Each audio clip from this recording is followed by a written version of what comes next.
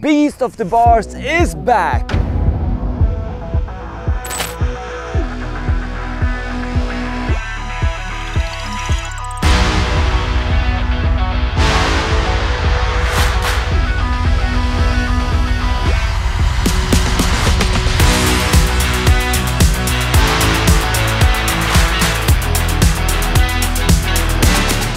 Beast of the Barz 2023 will be even bigger and better.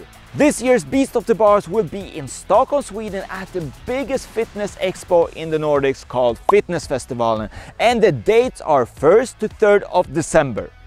This year we'll have three categories, strength endurance, freestyle for female, freestyle for male. Last year we had two categories for the male, but that was the beast and the alien. But this year we're gonna focus on only one.